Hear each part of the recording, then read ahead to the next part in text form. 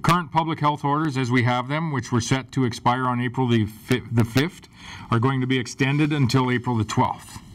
We all need to be very diligent in following these public health orders as they are put forward, so that we can continue to drive our case numbers down without increasing, increasing our restrictions further in our community.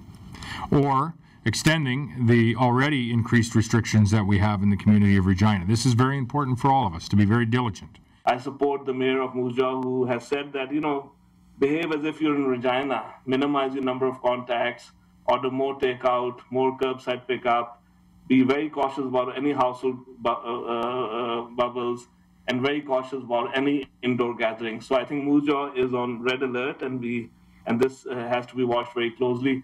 People in Moose Jaw should really uh, look at the Regina uh, order and guidelines and, and try to emulate that.